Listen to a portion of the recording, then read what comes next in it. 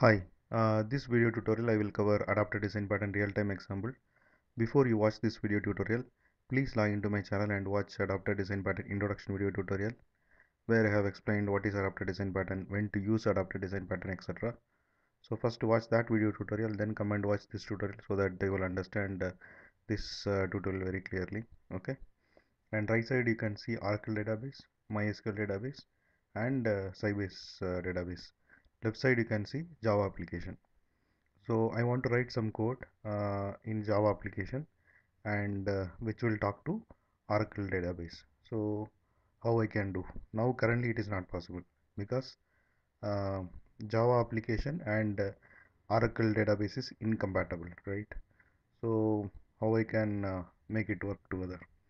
So what i have to do is i have to use jdbc api plus I have to use uh, Oracle uh, JDBC driver. So this Oracle uh, JDBC driver is nothing but a adapter between uh, Java application and the Oracle database. Like that uh, from Java application I want to talk to MySQL then uh, I have to introduce MySQL JDBC driver in between Java application and the MySQL database.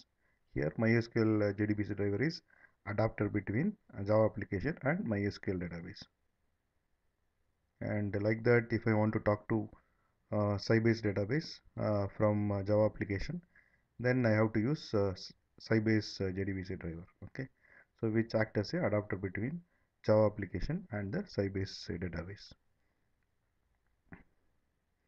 So here uh, this Oracle uh, JDBC driver, MySQL JDBC driver, and uh, Sybase uh, JDBC driver are nothing but a adapter okay?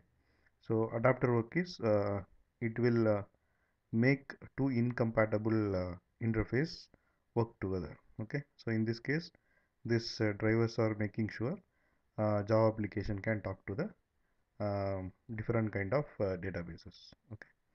And this is the best example of adapter design pattern and I have created separate videos for adapter design pattern implementation, adapter design pattern uh, class diagram and sequence diagram video tutorials.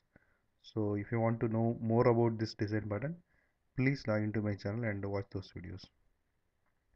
And this is about adapter design pattern real-time example. Thanks for watching. Bye.